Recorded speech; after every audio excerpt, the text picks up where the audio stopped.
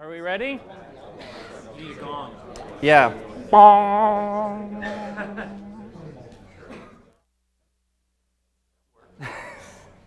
Hi there. I'm I'm I'm going to talk to you today about uh, Perl and FFI and my adventures in this in um, this interesting world that I've discovered. Uh, uh, most of you probably don't know who I am. I'm my name's Graham Ollis. Uh, I've been a Perl programmer for about 20 years, but um, most of the time has been spent on DarkPan projects. And two years ago, I, I, uh, I joined DCPM and I started putting some stuff on, on CPAN, so I've been more uh, contributory. And uh, uh, I work for ADNET on a NASA contract to provide computing resources to Earth scientists. And um, in the team inside my company, we work uh, almost exclusively on Perl. Um, we have our own government mandated acronyms, the CIPS and the ACPS. Uh, it's a small team and uh, they see the value in, in Perl and, and YAPC, so they kindly sent me here to talk to you today.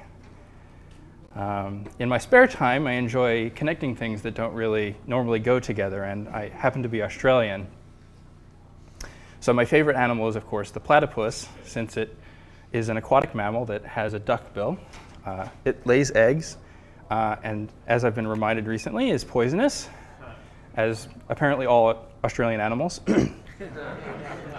and I, um, and I, I, I, love Perl actually more or less for the same reasons. It's kind of a, it's an odd animal that. I thought the platypus was a Perl. Sorry. I thought the platypus It could be, could be. Um, so FFI, what's that? Uh, it, I have a mic. I don't know if it's. Is the mic? Is the mic not on? I, I will just have to talk loudly. Can everybody hear what I'm saying? Okay. So, um, so what's FFI? As it turns out, it's a great way to connect things that don't normally go together. Um, according to the uh, libFFI project, it's a foreign function interface is the popular name uh, for the interface that allows code written in one language to call code written in another language. And the image that, of course, you're supposed to come to mind is putting a, a duckbill onto an adorable uh, aquatic mammal. In practice, uh, FFI, and I'm going to use this terminology, uh, usually refers to specifically the bindings of to libFFI uh, from a scripting or virtual machine platform like uh, Python, Ruby, Java, uh, and now you can do it from uh, Perl as well. In Perl 5, we already have an FFI, and that's called XS. Uh, the way it works is that you start with some XS code, which is sort of, uh, it's kind of a Frankenstein's monster of C and the C preprocessor uh, and the guts of Perl, uh, which they call an API. And this gets compiled using xsubpp into plain C code, which then gets compiled and linked with other C files optionally and libraries into a dynamic library, which can then be called from Perl using the dynaloader. So hopefully you're at least somewhat familiar with that.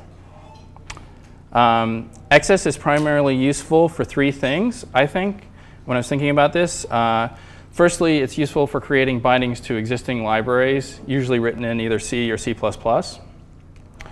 uh, or optimizing parts of your program that need to be especially fast or small. And it's also useful for extending the Perl language itself. So you can add, use it to add keywords.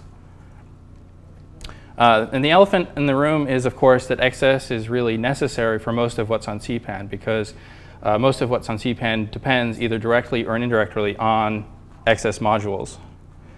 Uh, and it has a number of limitations. It's tied sort of inexorably to the current implementation of Perl 5. Um, I don't think it's especially easy or intuitive to, to learn. Um, there is, take a look at the man pages. I mean, I, I think they've done a, a, valiant effort, but it is a tricky subject. It has its own sort of repertoire of what I think is not especially Perl-ish terminology. So even coming from a, a strong Perl background, it is uh, challenging to, to, to understand and learn. It also, as I said, uh, uses the C preprocessor a lot, which has a lot of caveats associated with it.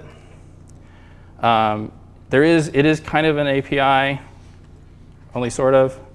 Um, its documentation is uh, a little bit spotty in places, uh, and um, I, I think importantly, uh, the interfaces, the innards change from time to time, and you know, for good reasons, we want to improve the the, the Perl core, um, but that is can be painful for XS authors at the same time.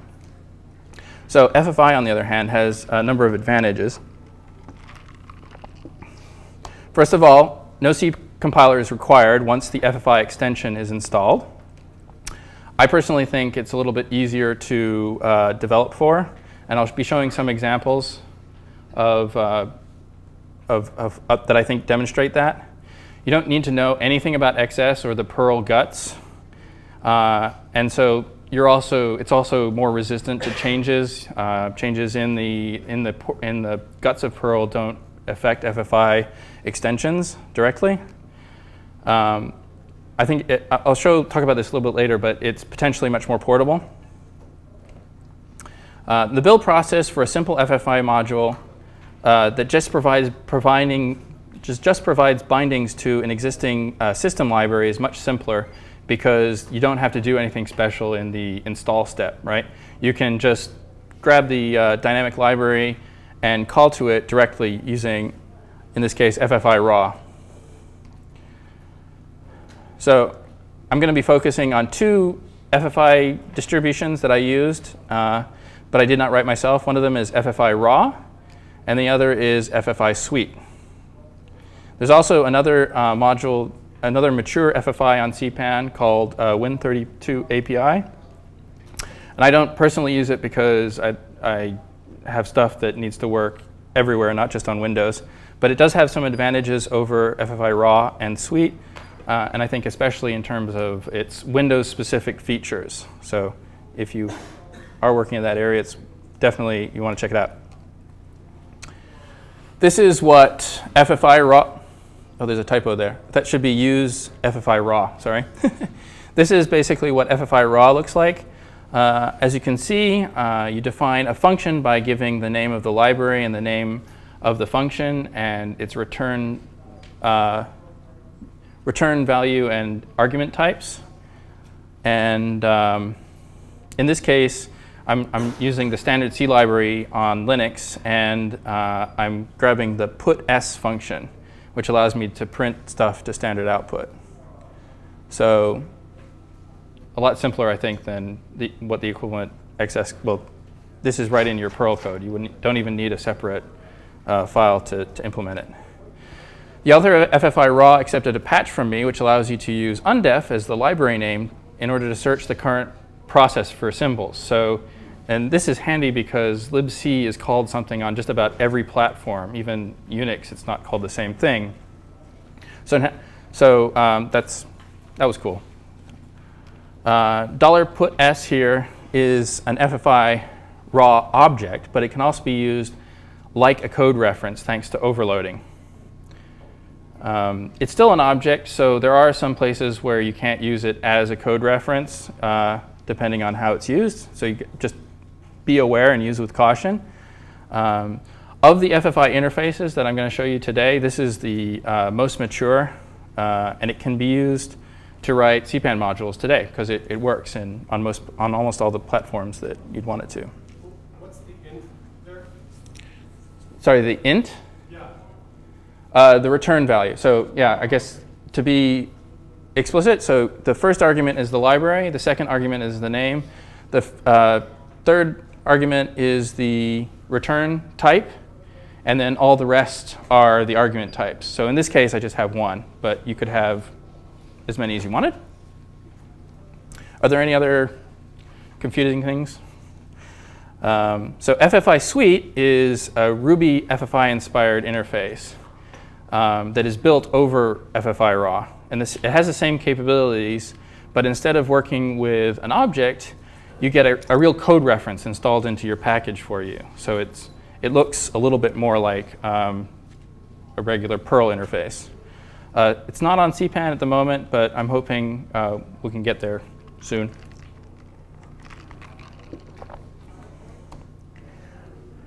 There are other, couple other FFI, excuse me, FFI projects out there to be aware of, uh, or maybe be aware of. Uh, one is C-types, which I think it showed some promise at some point, but I don't think it's being actively developed. Uh, and it's certainly not on CPAN, so it's not useful today to write modules on, on um, CPAN like FFI raw is. Not on CPAN. So FFI no suffix uh, uses FFI, FF call instead of libFFI. It's not maintained, and neither is uh, FFI call, and also it's uh, GPL, so it may not be a license that you're looking for. Um, so I wanted to write something real using FFI raw and Perl uh, to see if I could find holes in the implementation uh, and to come up with ideas that might improve it. I picked libarchive, which turned out to be a pretty good uh, library to target, as it turned out, for a lot of reasons, most of which I wasn't aware of going in. Uh, basically, though, it's similar. It's the tar implementation for FreeBSD, and it has like a, a number of uh, pretty cool features. Uh, it will detect, read, and write most uh, popular formats automatically, and it handles all kinds of compression. It's a, it's a pretty neat library. Uh, what's interesting in the context of FFI, of course, is that it's implemented in C, so we can use FFI or XS to write bindings for it. It's also object-oriented, so it sort of lends itself well to a, a scripting language like Perl. Uh, here's a, a short program to give you an idea of what I mean. This program opens an archive uh, of any formats that's supported by libarchive, and it prints the members to standard output. Uh, and um, it's object-oriented in the sense that it makes the use of opaque pointers. The constructors are C functions that return the opaque pointer, and then you can pass that pointer back in as the first argument to functions which are, in fact, basically method calls. Uh, Does that make sense? Um, so I wrote archive libarchive FFI. This is my Perl distribution on CPAN. Uh, to be comprehensive so that it shows that FFI raw can be used to implement a, a large API.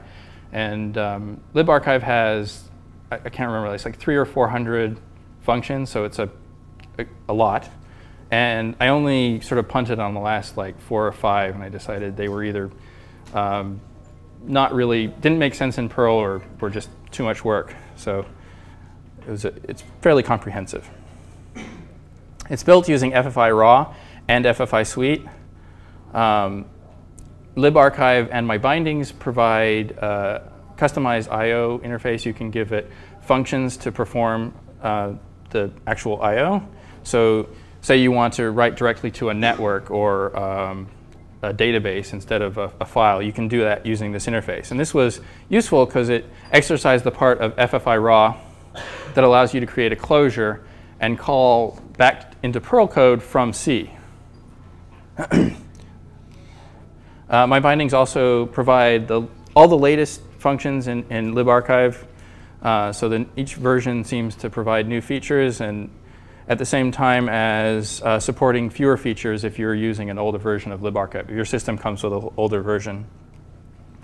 The vast majority of the functions provided by archive, libarchive, FFI are defined in this way. And it's a simple uh, declarations to attach the functions.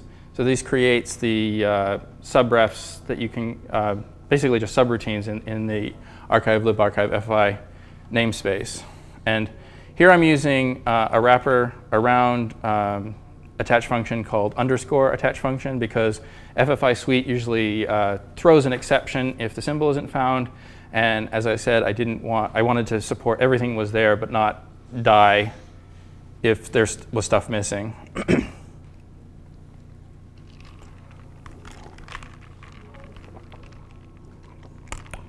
so uh, a number of libarchive functions take uh, buffers as arguments, so either as input or output. Um, a buffer is just a pointer to a region of memory and uh, a size for that region. The C version of this function, archive read data, for example, takes an archive object as its first argument, followed by a pointer and a size pair, which defines the buffer. Uh, I wrote the Perl version instead to take an archive object as the first argument and a scalar uh, where the data was to be written to as the second argument. So it's, it's the obvious thing that makes sense you know, in Perl land. FFI Sweet provides this wrapper interface. So the, so the um, first argument is the, the code reference to the real uh, C function. And, and this function gets called you know, in between so that it looks normal, looks like a regular uh, Perl function. So uh, here I'm creating a callback. So this is, uh, I'm using FFI.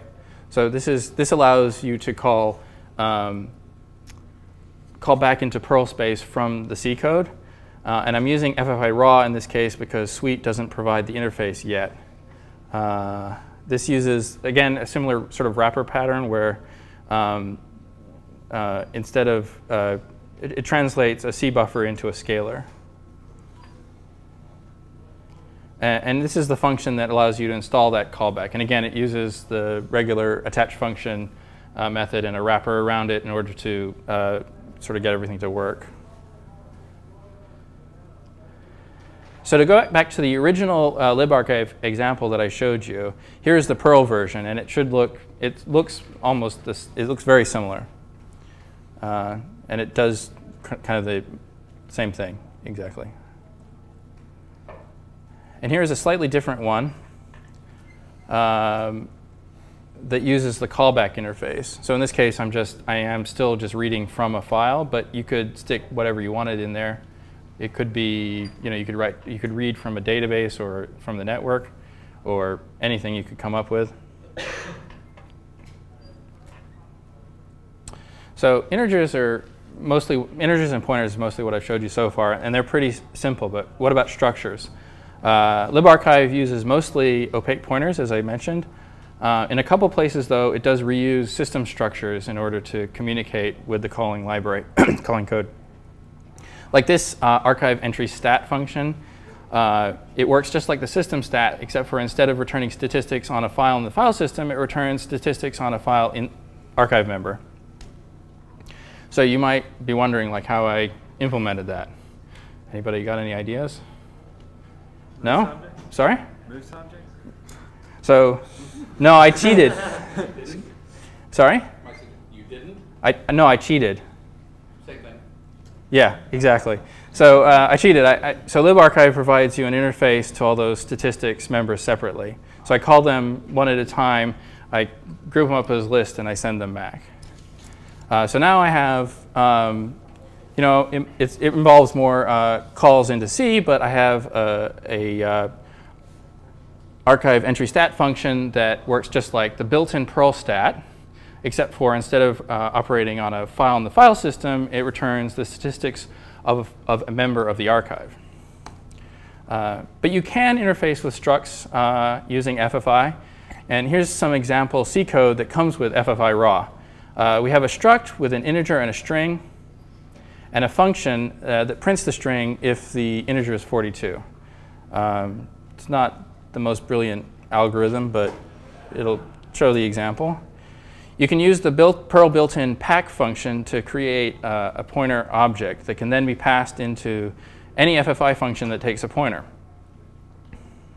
I'm not especially crazy about this interface. Uh, First of all, you have to create um, you know, another scalar in order to just pass it in. And, and another thing is that um, uh, pack and unpack are complicated beasts, which are, can be very useful, but they're also, like I say, they, they can be uh, difficult and error prone for the unawares.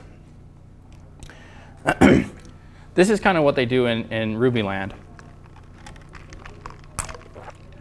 Um, you define a class that, define, that uh, derives from FFI struct. Then you give it a layout. Um, and then you can use it just like a regular Ruby object. You can assign values to it. You can get values from it. Uh, but when you pass it into an FFI function, it uh, will understand what to do. You treat it as a pointer and pass it to the C code. Uh, if you've used inline struct before, uh, you might see some similarities. And I, I actually been meaning to check this out, but I, I, think it'd be an interesting experiment to get inline struct to work with FFI raw. Uh, so an exercise for the those that are interested. Back to our particular example, though. Um, oh, I, one thing I wanted to mention: this is the direction that uh, we're thinking about going with FFI Sweet, but it's just an idea, uh, not an actual implementation yet. Uh, our particular problem, though, uh, the stat structure is not that easy to implement using either of these two methods. Uh, have you ever seen the Linux version of stat? Uh, it's a little bit crazy. This is just one implementation. Uh, and now imagine you have to support BSD, Solaris, HPUX, or what have you. Yeah, it's not fun. this, this is the reason why I punted if you're wondering. Um, I decided that I didn't. Uh, one possible solution that I came up with is to define, to create your own interface to a C structure uh, from C. Uh, and then call the interface from Perl using FFI. Uh, for example, here's a, a, partial implementation of stat using an opaque pointer object system, similar to what uh, libarchive uses for its objects. So it, this was kind of inspired for, by what I'd already, the, how I'd been using libarchive.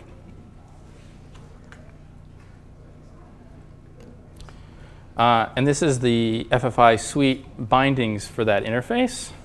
And it, it looks very similar to, um, it, should look very similar to what uh, I was doing with libarchive. Um, And this is just uh, an example of, of, of how I use to test it. And so you can see how it's used. So it, it works.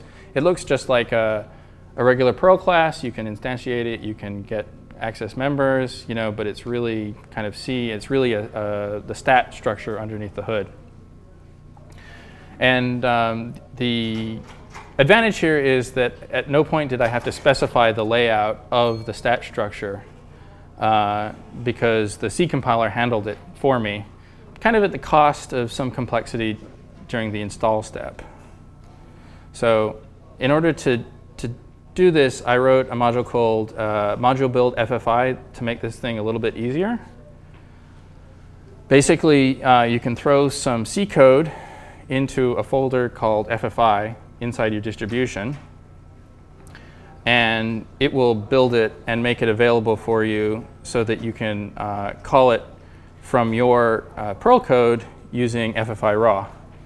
And although I'm using this example for creating an interface to uh, a C structure, you could do the same thing uh, to create, to write code, uh, write parts of your program that need to be uh, fast or small or whatever. And you may remember from the beginning, this is one of the things that I said was useful about XS. This is an, just another tool in your tool belt that you can use.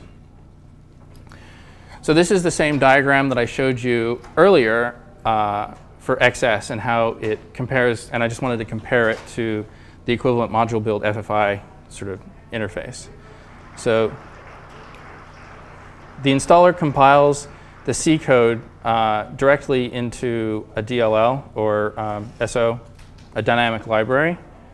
And now you can call it uh, from your Perl code using FFI raw instead of using the Dynaloader.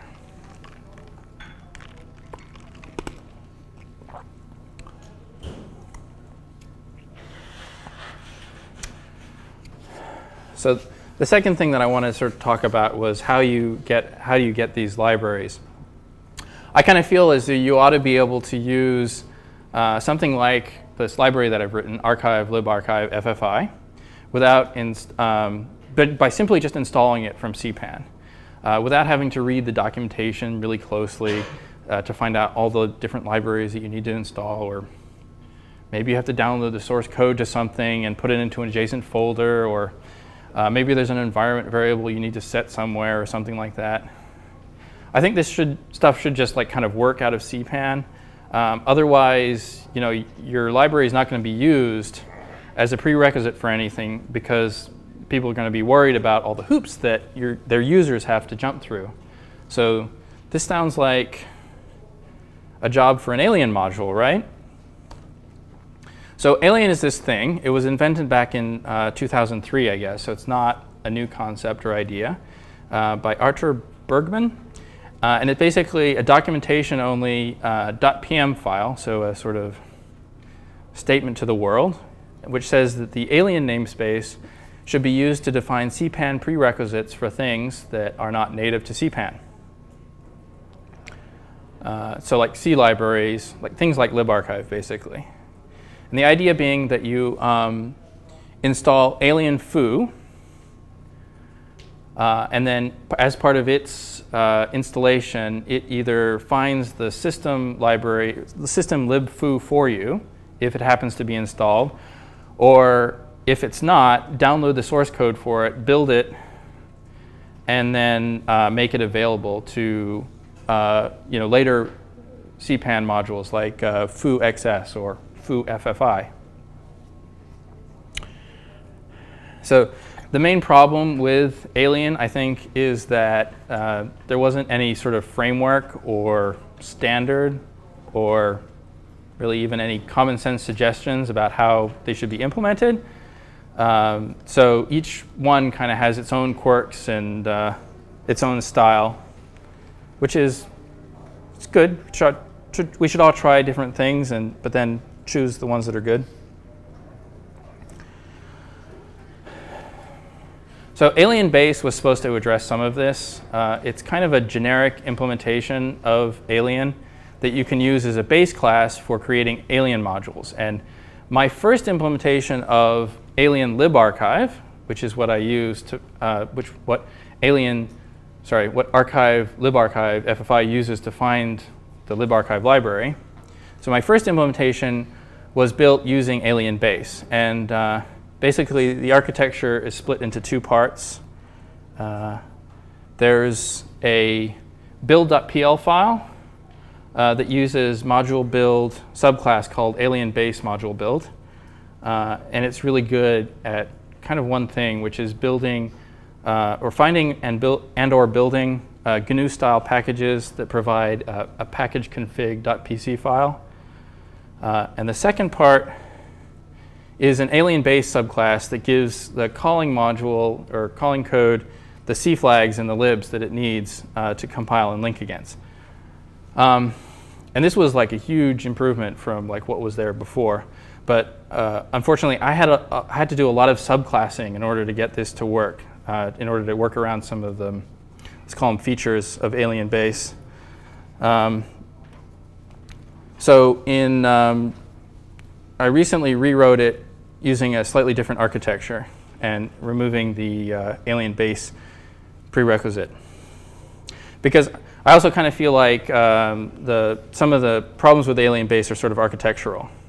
So the alternative that I came up with was to extract uh, the library sort of detection and um, building logic from the, um, from the module build class so that it could be used in other contexts. The other departure that I, I, I made in, from the older version of Alien libarchive was that I provided uh, an explicit interface for finding the dynamic libraries. So Alien Base was really designed to make XS modules, and I sort of said, well, I can kind of use that for FFI, but this was sort of like specifically provides that capability for me.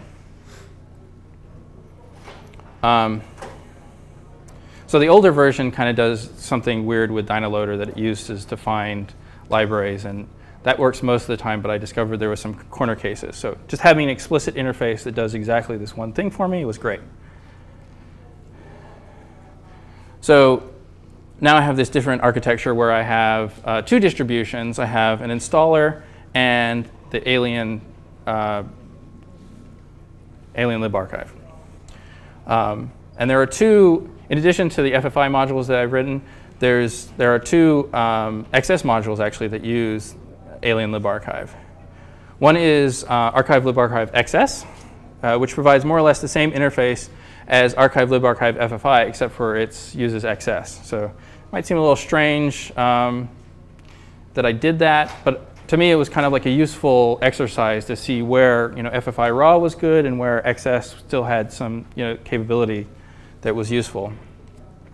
The other is archive AR libarchive, uh, which can be used to read static libraries. It's sort of, it uses a very minimal set of the capabilities that are in libarchive. Uh, and it actually is used by FFI Sweet to find dynamic libraries on Windows. So it's kind of a, a niche case. Um, there anything else? So, so um, and then now archive libarchive FFI can use the installer directly to find the system libarchive if it happens to be installed. And if not, uh, in, as part of the install step, it says, by the way, please install Alien libarchive as a prerequisite, and it uses that. You might ask me that why would I do that? Uh, why not just use lib the Alien libarchive all the time? Well, uh, Alien libarchive requires a compiler uh, because it actually tests the library with a compiler to make sure it works. Uh, and, and this way, and Alien Lib and the installer actually knows enough to be able to test instead of using a compiler with FFI. So it tests exactly what I need to know. um, so, it's, so if you can get away with using the installer, it's lighter weight and it's better. Uh, on, the other on the other hand, like the uh, XS modules that I wrote, it makes sense for them to use the Alien libarchive directly because they're going to need a compiler anyway. So this architecture is kind of, I, this isn't how I'm using it, but this can be handy in, in another, other, a, a couple of other ways. So suppose you have a module that requires a specific version of libarchive. So say you need a recent one, like version 3.1. Uh, so what you can do is you can say, uh, first use alien libarchive, use the installer, uh, detect the system, see if it meets your needs. And actually it also, if the user has already installed alien libarchive, it'll use that as a, um, as a backup. And otherwise, it will download and install, it'll download and build libarchive that you can then link against.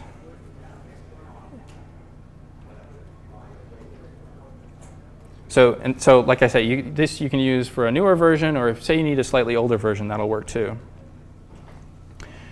You can also use the detection logic uh, to use libarchive as, a, as an optional prerequisite. So uh, say you have, um, you have a distribution that might use libarchive, but it's not necessary. Um, simply make you know, the installer a prerequisite, and you can see if it's available in the system, or if the user happens to have chosen to install Alien libarchive, it'll use that. But it won't ever choke if, if libarchive isn't, isn't there, or maybe isn't supported by your platform.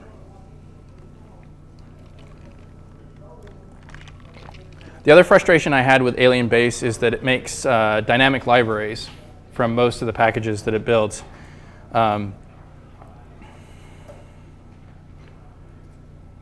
So the, the so your XS module actually builds a dynamic library, which is then called by the Dyna, Dynaloader. So if you're using an alien uh, base uh, distribution, if you're using alien base, basically your XS uh, dynamic library is depending on this libfoo.so, which um, is lives in the, um, the, the alien module's uh, share directory. Uh, this turns out to be really fragile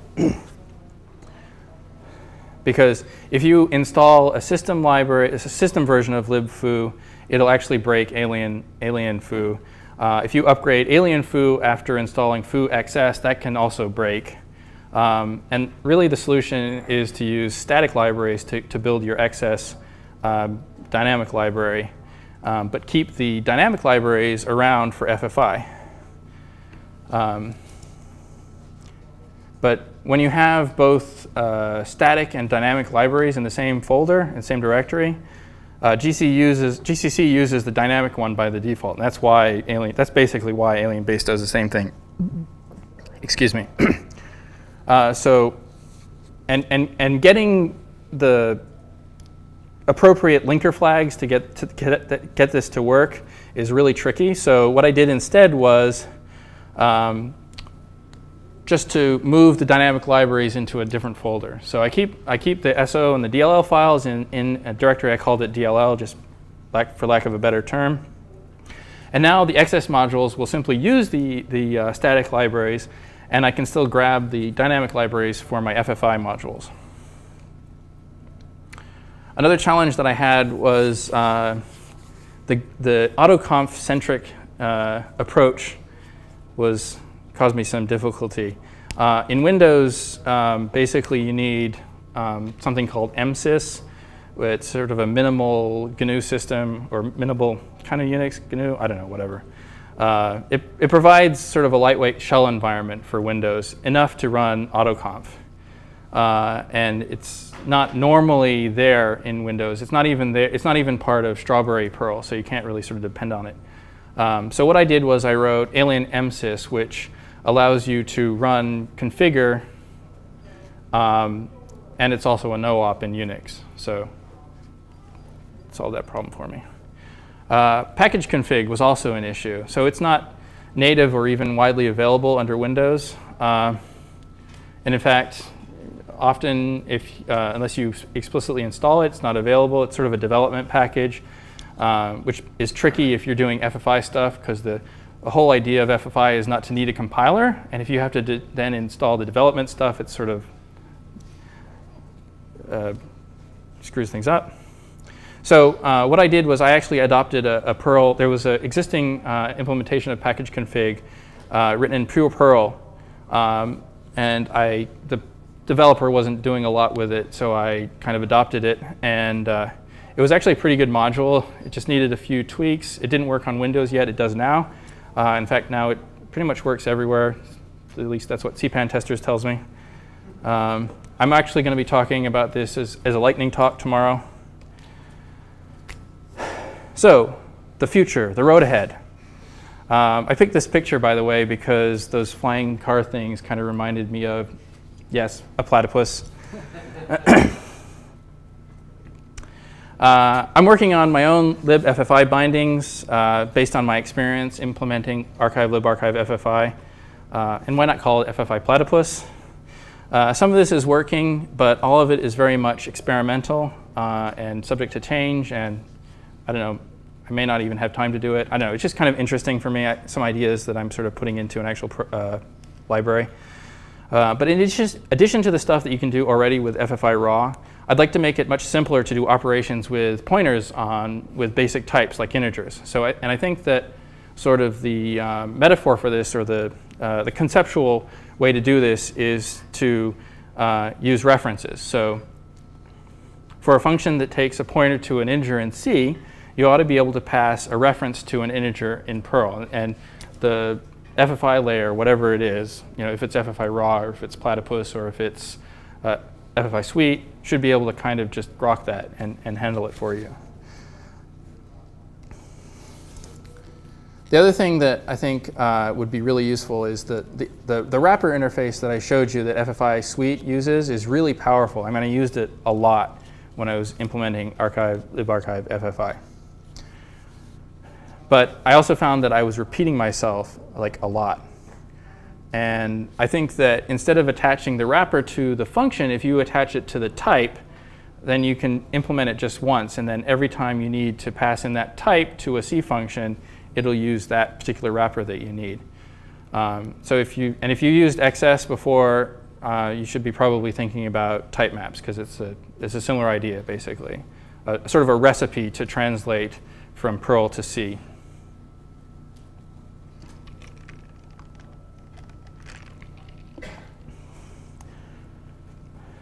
So portability was something that I mentioned earlier.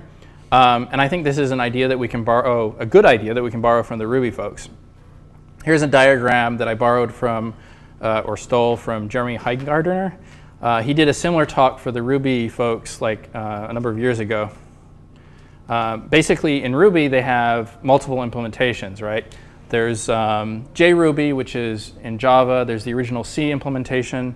There's something called Rubinius, I'm not a, I'm not a Ruby expert, but basically the idea is that uh, you can implement your extension, your FFI, in, for one of these uh, particular versions of Ruby but expect them to work in the other ones. And then, and, and obviously there are different advantages to using each one. So one of the challenges for a future implementation of Perl, or you know maybe Perl 6, I don't know, is that large swaths of uh, useful CPAN depend on XS, and they just won't be. They'll need to be rewritten or something equivalent. Um, if each implementation had a standard FFI interface, porting uh, extensions between those different uh, implementations would be a lot easier. And actually, the idea that I have is if, if the interface could be reduced to something, some sort of data structure, like a, uh, something in YAML or JSON maybe, um, then it would be even easier. Like, so the syntax for Perl 6 is going to be significantly different from Perl 5. So if your interface is defined in some sort of uh, data structure, then you can say, here it is, and it should just work. Maybe. We'll see. So at the beginning of my talk, uh, I showed you the things that I thought that XS was good for. Uh, how does that compare to FFI? Um, I've shown you that you can write bindings for an existing library uh, written in another language. And I, uh, archive, libarchive, FFI is just one example. Um, I've shown you that you can write um, parts of your program using FFI uh, that need to be fast or small. Um, one thing it isn't especially good at is extending the Perl language itself. And I think obviously this is an area where XS shines uh, because it is basically the guts of Perl exposed for anybody to tinker with.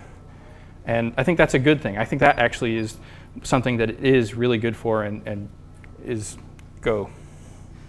I don't know. Uh, other things that maybe are challenges or limitations is uh, uh, support for esoteric platforms like, you know, VMS or Plan 9. Um, they're probably never going to work with libFFI and, and probably not with FFI raw either. I did do uh, quite a bit of work to make sure that FFI raw uh, works on Windows though and Cygwin uh, using both GCC and Visual C++. So uh, you know, not working on Windows is not an excuse that you can use. Um, the other thing that FFI stuff doesn't do is it doesn't catch errors that your C compiler normally would. So something like using the wrong uh, argument types or return types uh, won't flag an error. Uh, but so you kind of just, you need to do a lot of checking, uh, testing. But I'm going to, since this is my talk, I'm allowed to classify things as I want. I'm going to give this a check mark because you should be doing testing.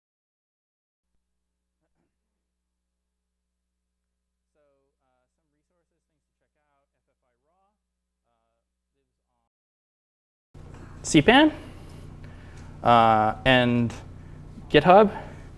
And the author, the uh, maintainer, Alessandro, is very, actually, has been very good about uh, being accessible um, accepting pull requests that I've made to support weird platforms and um, and that kind of thing. And he's also actually fixed a couple bugs that I found but weren't wasn't able to figure out. Um, FFI Sweet is this thing. Um, it lives on GitHub at the moment. Hopefully we can get it moving. Um, and the primary authors are uh, Meredith Howard and myself. Um, I also wrote some, I, I, put some RPMs together for recent Fedoras um, on OBS if you want to try it out without compiling. I don't know, just a aside. Um, but that's it. Uh, my name is Graham Ollis. Like I said, I am on CPAN and GitHub and Twitter and email. And um, I'm, I'm really interested in this stuff. So if you are too, uh, you know, maybe we can collaborate or if you have suggestions, whatever. Uh, are there any questions?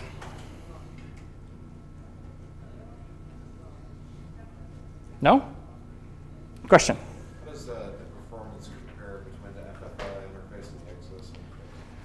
So, um, I didn't do any uh, benchmarking per se. Um, the stuff that I that I I used it for was fast enough for me.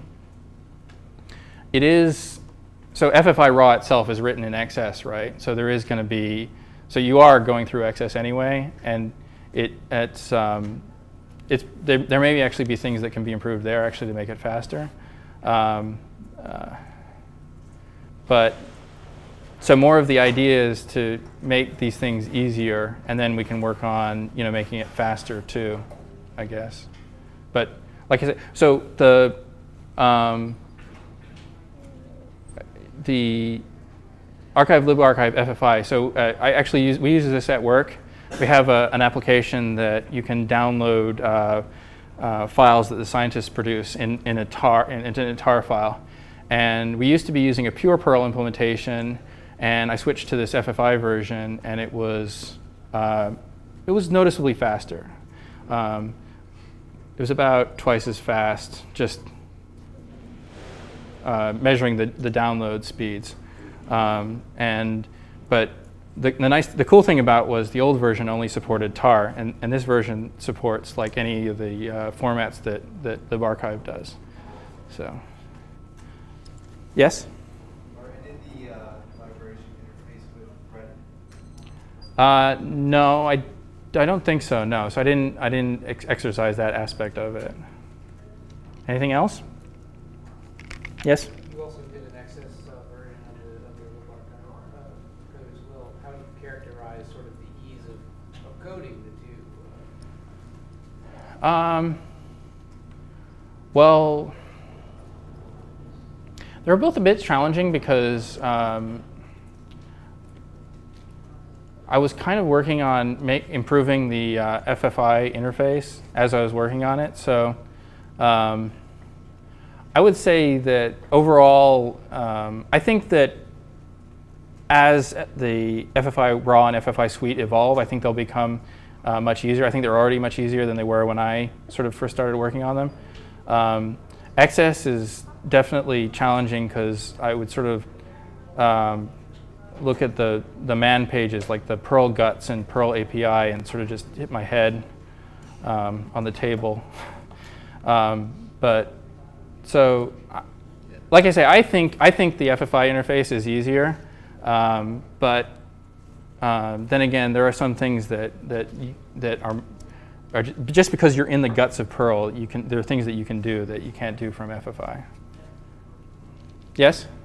All right, let's say you had a C function that took an array of four integers and was going to modify those on, you know, uh, when it return, you know, when it returns.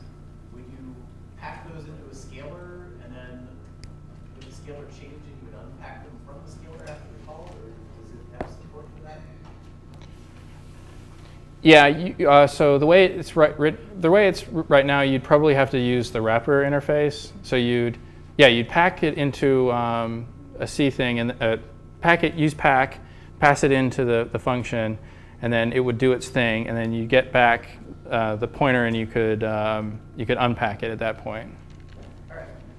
So I, that's something that I, I think that should be a little bit easier, right? I think that like the, the interface that I was talking about using references, like my example was just a, a reference to an integer, but you could have like a, an array reference that got translated in the FFI layer into, um, like I say, assu- assu- ass- assuming you have the, the type annotated correctly, I think you could do it easier. Anyone else?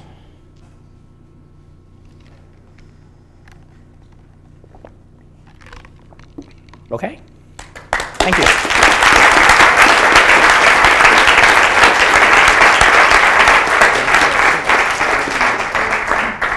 Ooh, perfect.